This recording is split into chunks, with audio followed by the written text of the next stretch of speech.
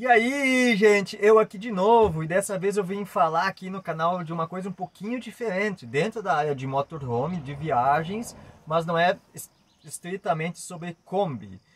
Já imaginou viajar num motorhome totalmente autônomo? Hoje a gente tem a a gente costuma dizer: "Ah, eu sou autônomo no meu motorhome, eu sou autônomo na minha Kombi". Sim, a gente é de certa forma. Mas já pensou um motorhome que você não precisa de gasolina, ou de óleo diesel, ou de GNV, ou álcool, simplesmente a luz solar. É, gente, a luz solar. A gente está aí, novas tecnologias chegando e quem sabe é um negócio que daqui a 30 anos, 20, 10, sendo mais esperançoso, a gente consiga se locomover sem precisar abastecer o carro num posto de gasolina. Já pensou? Que maravilha! Então, gente, lá na Holanda, alunos da Universidade de Eindhoven, eles criaram um motorhome 100% autônomo. Ele roda só com energia solar. A energia solar carrega as baterias e o motorhome tem tudo que vocês precisam dentro. Tem televisão, tem uma cama super espaçosa, tem tomadas para carregar celular, tablet, né? Tem tudo que um motorhome tem e ele roda com energia solar. Esses alunos eles criaram um mini motorhome, vamos dizer assim, que não é tão pequeno assim, né? Se olhar ali, a aerodinâmica dele é um pouco diferente, assim, futurística, e segundo os alunos é em forma de uma gota, e essa gota é justamente por causa da aerodinâmica, que justamente para não gastar tanta energia para ele se locomover, né? E ele tem uma autonomia de 730 quilômetros.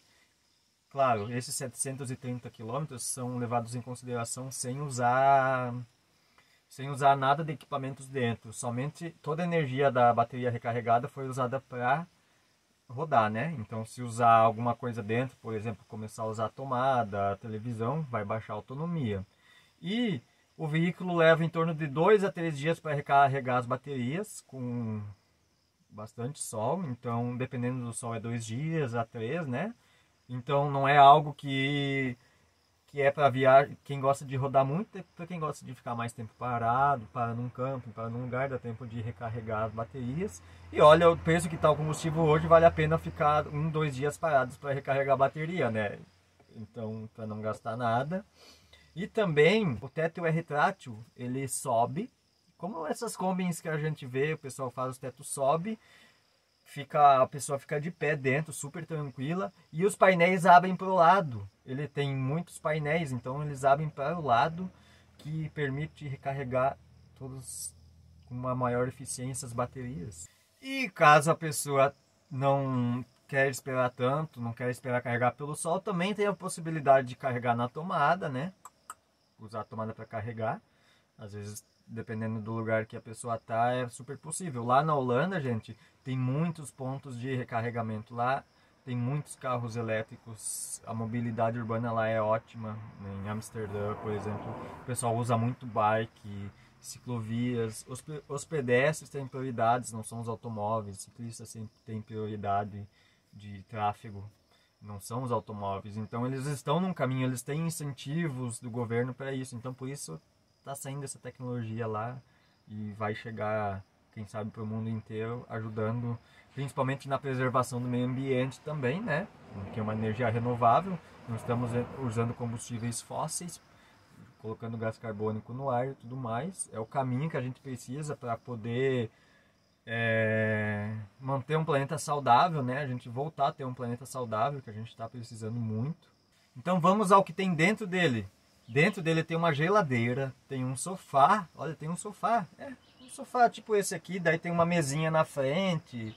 É, tem banheiro, gente, tem banheiro. Então ele se torna grande. A cama é confortável.